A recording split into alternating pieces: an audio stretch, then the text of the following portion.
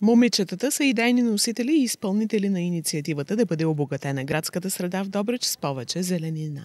Тъй като дърветата са белите дробове на земята, това е един страхотен подарък от нас за майката природа.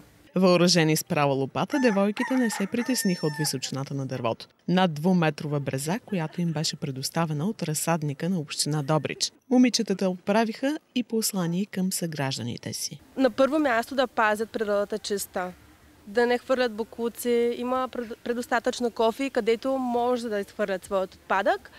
И на второ място всеки може да отдели 10 минути да посади едно дърво. Забавно е. При засаждането на брезата в сюблемен момент с здрава ръка се включи и нашият оператор Димитър Янев.